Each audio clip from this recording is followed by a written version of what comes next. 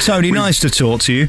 How's Nice it to talk to going? you as well. Back at Radio 2, doing the big show on a Saturday afternoon. Congratulations. Oh, thank you very much. Well, I'm absolutely delighted. You know, I um, I was offered it about uh, it must be about five or six weeks ago, and I thought about it for about two seconds and said yes, please, because it's just a wonderful show. It's it's rather like Radio 2's uh, answer to the Archers, isn't it? It's gone on for a long time. Fluff Freeman, of course, who was a great friend of mine, he did it, and uh, if I can do it as half as well as him, then I'll be very happy. It's really interesting because the last time we met was at that book launch, and commercial radio is in such a horrible, horrible place, and we were both holding on for grim death.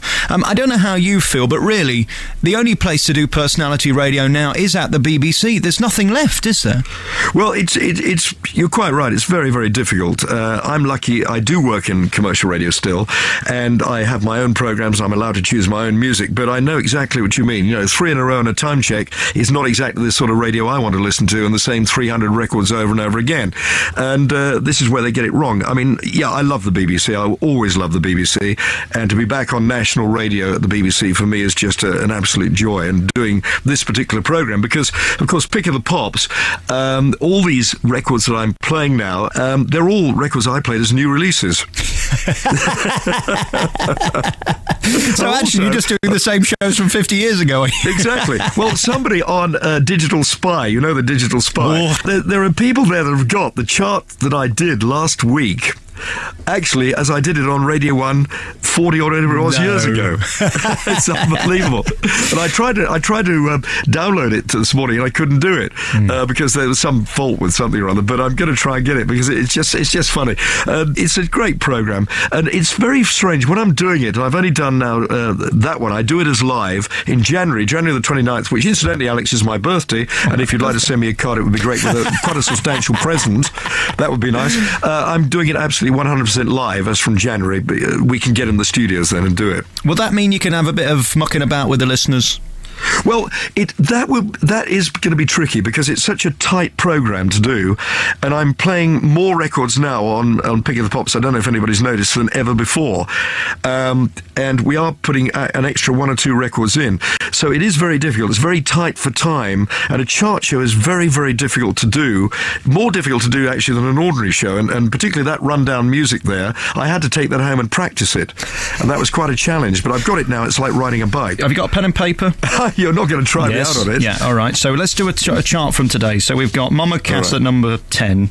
Oh, I can't because I haven't got it, the chart in front of me. Well, it doesn't matter. Let's just write it down. Let's just make anything up. Mama Yeah. Cass, Robbie Williams. well, I tell you uh, what, I could Yeah. I could say hi. It's Tony Blackburn here with Pick of the Pops. All right, here we go then.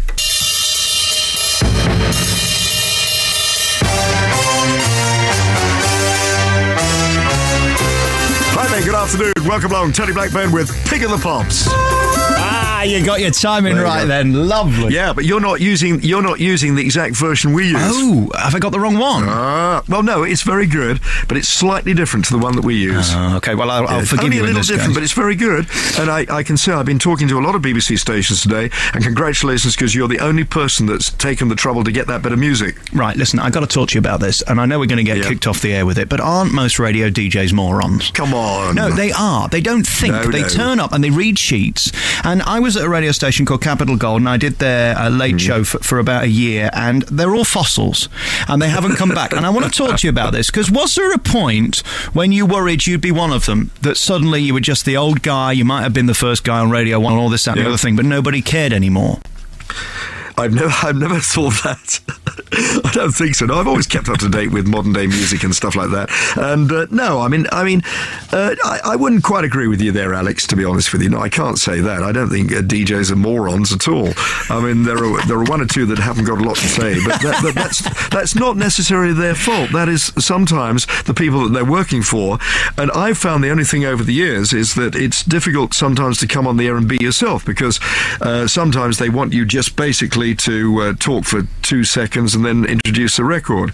And I like personality radio, and that's what I'm about. And I've been very lucky in being in places where it is personality. You know, I do love it. I, I, I love it very, very much indeed. And and you know, to be invited on uh, BBC Radio Two it took 30 years, 30 years to get on Radio Two, and uh, but I, I never thought they would invite me onto the station. But I, I'm just delighted because it's sort of done a, a, a circle really. Because being on national radio on Radio One, and then going to um, local radio, which I love, incidentally, I absolutely love it. And I'm still on on BBC London here in London. I love local radio, but to be on a, a national station like Radio 2, which is a tremendous station, and be amongst all those great broadcasters for me is an absolute thrill. And of course, at the top of their game at the minute, we had Chris Evans on on Friday, and Yeah. and like you said, to be in a place where you can say anything and you get ten thousand texts is a wonderful thing. Your power it is, wonderful. remarkable. And, and also another thing, I've, I've I've had a best friend called Phil Swern for 46 years. We've known one another for 46 years. We we go out to dinner together. We you know we've just been great friends. Never had an argument in our life. And he is actually the producer on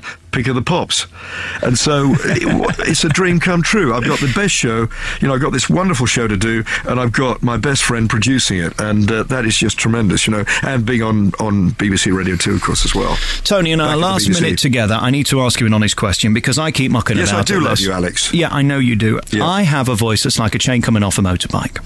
How do I sound like a proper DJ like you with a proper voice and proper inflection on the right emphasis and all of that stuff? I can't do it. What are you talking about? You've got a very good voice. Yeah, but you've got a proper voice. radio voice. I just sound like the bloke on the street. Well, that's all right. What's what's wrong with that? When did you? Did you? You don't have to sound plummy and, uh, you know, sort of like me. No, no, you you're don't, not you don't plummy. have to sound like a moron like me. no, you're not a moron. Come on. And do you know what Oh, moron means? In the, Doodle-doo, mate. do you know what moron means in the dictionary? Have you ever, ever looked it up? No idea. Someone of bovine intelligence. oh, really? no, you sound fine. Don't Thank you. don't try and be somebody you're not. That's my my advice. All right, coming up next is Pixie Lott Mama Do. I'm going to play the bed. We're going to say goodbye. And could you do, hi, welcome to Pick of the Pops. And here's Pixie Lott Mama Do. Could you do that for me? Here we I'll go. say Pixie Lott. Yep.